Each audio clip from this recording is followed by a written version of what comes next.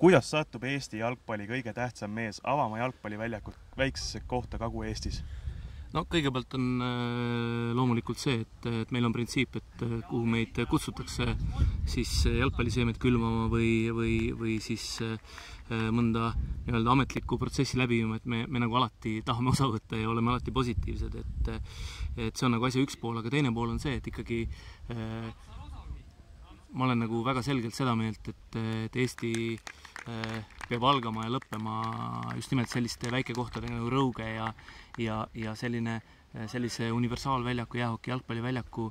avamine, see on ikkagi märk elujõust ja, ja usust, et et Rõuge oli, on ja jääb igavesti ja, ja selle usu toetamine on nagu väga-väga tähtis minu jaoks. mida te arvate kohalikust innovatsioonist, et siia hokiväljakule rajati kunstmuru jalgpalliplats? No ma arvan, et see on sellises kohas nagu Rõuge, see on ideaalne lahendus ja tegelikult kui me räägime ajalooliselt jalgpallist ja jäähokist kui üksteist hästi täiendanud traditsioonilisest spordialadest, mida esimese Eesti Vabariigi ajal ju praktiliselt kõik mehed mängisid paralleelselt jäähokit ja jalgpalli. et noh, tänapäeval see kahtlemata nii enam olla ei saaks, aga, aga just nimelt väikekohtade jaoks oleks see tegelikult või ongi nagu ideaalne lahendus ja ja, ja võib ainult imestada, et, et, et sellist lahendust mitte kuskil mujal Eestis siiamaani pole kohanud. mis on teie arvates jalgpalli arendamisest tähtsam, kas taristu või spordi propageerimine inimeste seas? no ma ütle, alustaks tegelikult niimoodi, et, et kui me räägime nüüd Jalgpalliliidust, siis tegelikult kõige tähtsam on hoopis see, et, et ega me ei arenda jalgpalli, me arendame ikkagi Eesti ühiskonda. jalgpall on ainult meie jaoks vahendiks ja, ja tegelikult nii peaks olema iga eluvaldkonnaga, et et iga eluvaldkonna arendajatel on peas tegelikult Eesti kui ühiskonna, kui elu, kui inimeste arendamine ja ja, ja, ja see, millega nad tegelevad, see on vaid vahend selleks. et ja, ja sealt nagu algabki kõik ja, ja kui nüüd edasi mõelda, noh, tegelikult äh, idee peab käima alati eespool äh, mateeriast, et äh, see on nagu minu arusaam, ehk siis mis tähendab seda, et kõigepealt peab olema entusiasm ja, ja siis tingimused, ehk siis infrastruktuur, taristu. et äh, ei saa olla niimoodi, et, et jääme ootama, et kuni meil tehakse mingi hea väljak, et, et, et siis hakkame mängima, et kõigepealt tuleb tahta tahta ja siis tulevad ka nagu tingimused, et, et, et noh, võib-olla natukene äh, noh, saab naerda sellise suhtumise üle, aga tõepoolest, et kui, kui ikkagi meie noored olime, noh, see, see on see võib-olla natukene naljakas aspekt, aga, aga tõepoolest me mängisime asfaldi peal ja ükskõik kus, et, et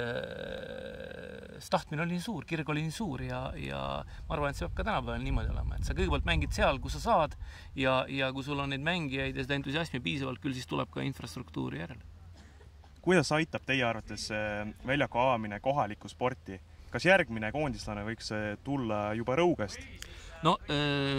siis kooli, kohaliku koolidirektori Toomas Raiuga, kes on muuseas Flora esimese koosseisu mängija ja ja keda ma tõenäoliselt nägin viimati kaheksakümnendatel aastatel, kui me koos siis tema viimase mängu järel väljakult ära läksime, arutasimegi sedasama, et, et ma arvan, et, et eriti nüüd selles valguses, et siin plaanitakse ka täismõõtmetega väljaku ehitust järgmisel aastal. selle, selles valguses kindlasti Rõuge võistkond peaks või Rõuge jalgpalliklubi peaks alustama neljandas liigas mängimist ja ja, ja see tooks ka Rõuge jalgpallipoisid lihtsamini pildile. et ehk siis ütleme niimoodi, et, et see oleks Eesti jalgpallile väga suur asi, kui Rõuge poiss jõuaks Eesti koondisse, nii et see on midagi, mille nimel tasub kindlasti pingutada. kõigepealt see tähendab siis seda, et kui juba Rõuge poiss jõuab koondisse, siis tähendab seda, et Eesti jalgpalligeograafia on läinud ikka nagu väga, väga-väga laiali, aga teiseks on ikkagi see, et hoolimata sellest, et Eesti on nii pisike, on siin Hiiumaast, Saaremaast kuni Setudeni välja on ikka väga erineva verega rahvaosi ja jalgpallikoondis on ikkagi nagu mingisugune läbilõige rahvast ja, ja sinna on seda Eestimaa mägede poega, kirglikku rõugelast ka kindlasti väga-väga vaja. tõenäoliselt sellise loova poolkaitse rolli näiteks. aga siis lõpetuseks küsimus, mida ma olen teilt juba varem küsinud, et kas ametlikku jalgpallimatši tohib pidada kunstmurul, mis ei ole rohelist värvi? Tegelikult ei tohi, aga, aga, aga ma arvan, et kui te teete Rõugesse näiteks sinise väljaku, siis ma arvan, et Jalgpalliliit on valmis teile erandi andma selleks, et te saaksite liigat mängida, kui see on nagu ainukene probleem. aitäh! seda sa küsisid kuskil EM-i või?